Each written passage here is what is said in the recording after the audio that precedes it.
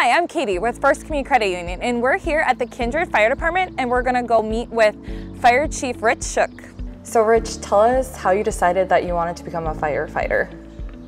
Well, I had uh, a member of the community approach me, and I thought, well, maybe. I mean, as a young kid, everyone's fascinated by the big red trucks and all the lights and the sirens.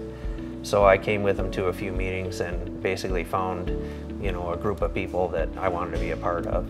How would you describe FCCU to somebody else?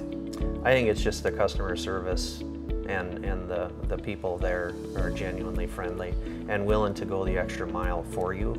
They're vested into the community. They're not, you know, a, a bigger institution where I'd potentially be a number. It definitely makes you feel like you're going into uh, a business that's very home-based